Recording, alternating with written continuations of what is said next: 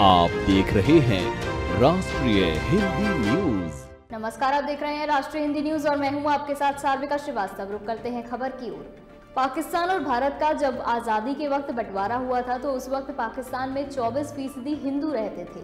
लेकिन अब हालात बिल्कुल उलट हैं। आज पाकिस्तान में एक फ़ीसदी से भी कम हिंदू बचे हैं। इसी बीच पाकिस्तानी यूट्यूबर नादिर अली ने अपने एक शो में पाकिस्तानी सिंगर नईम अब्बास के सामने पाकिस्तानी हिंदुओं पर कमेंट किया है। बता दें कि पाकिस्तानी यूट्यूबर नादिर अली ने पाकिस्तानी हिंदुओं को टारगेट करते हुए कहा कि भारतीय मीडिया अक्सर कहती है कि पाकिस्तान में हिंदू अल्पसंख्यक हैं और इनकी आबादी कम होती जा रही है। उन्होंने कहा कि हिंदुओं की जनसंख्या कम नहीं हो रही है, अल्लाह उनको हिदायत दे रहा है और लोग मुसलमान होते जा रहे हैं।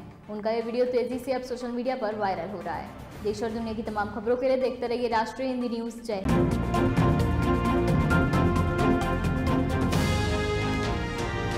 आप देख रहे हैं राष्ट्रीय हिंदी न्यूज़।